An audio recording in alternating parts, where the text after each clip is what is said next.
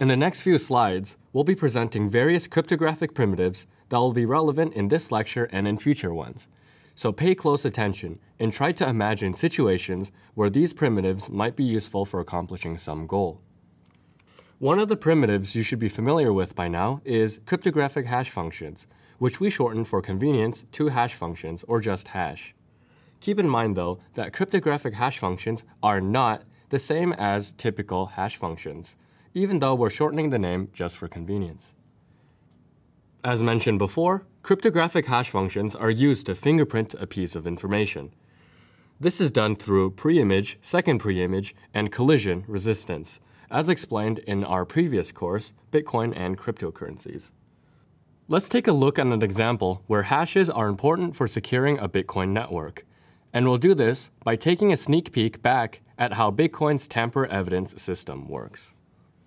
First and foremost, the Merkle root. By using hash functions, we can capture the identity of information without revealing anything about the information.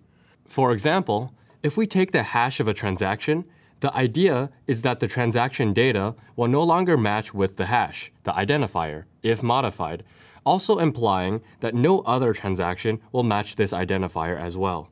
The Merkle root effectively does this over every transaction in the block. Second is the previous block hash, which points to the previous block in the blockchain.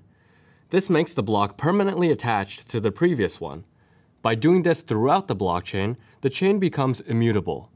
Anyone trying to manipulate the history will corrupt the block and anything onwards.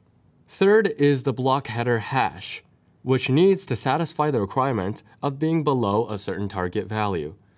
This is the part of the design which enforces proof of work miners repeatedly try hashes until the block header hash is satisfactory.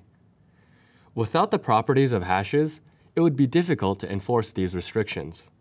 Another cryptographic primitive is the digital signature, used to cryptographically prove your identity. Each individual has a public-facing identity and a private piece of information used to authenticate themselves. We recall from Bitcoin the public and private key scheme used by each individual entity to receive and send Bitcoins. Through using digital signatures, we assume each real-world entity can have at least one virtual representation of themselves, and that no one can pretend to be that person. It's not uncommon for information to be lost in transit or in storage. Is there a way to protect that information without duplicating it repeatedly? This is what erasure codes attempt to solve. Erasure codes construct an algorithm to add additional pieces of information to a piece of data. Even if some pieces of data are lost, you can still reconstruct the original information if you have enough pieces of data left. This is used frequently in memory replication protocols, such as RAID, as a way of ensuring data preservation and security.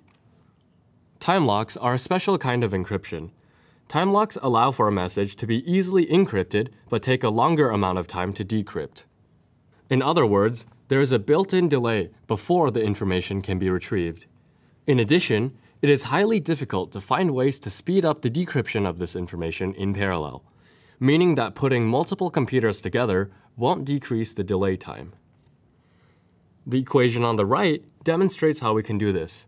The value of n in the exponent is proportional to how much time it takes to decode, allowing us to easily adjust the functionality of this time lock to our specifications.